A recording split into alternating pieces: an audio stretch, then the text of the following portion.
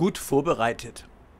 Vertreter der regionalen Medien wurden heute Vormittag zu einer Pressekonferenz ins Landratsamt geladen.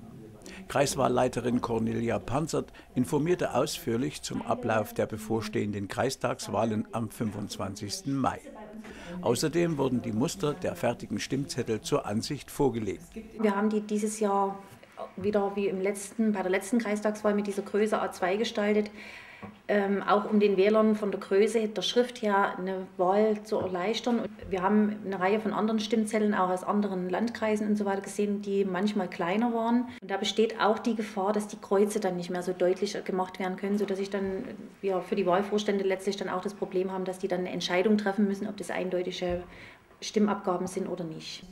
Das Wahlgebiet ist in zwölf Wahlkreise unterteilt und es werden 3000 Wahlhelfer im Einsatz sein.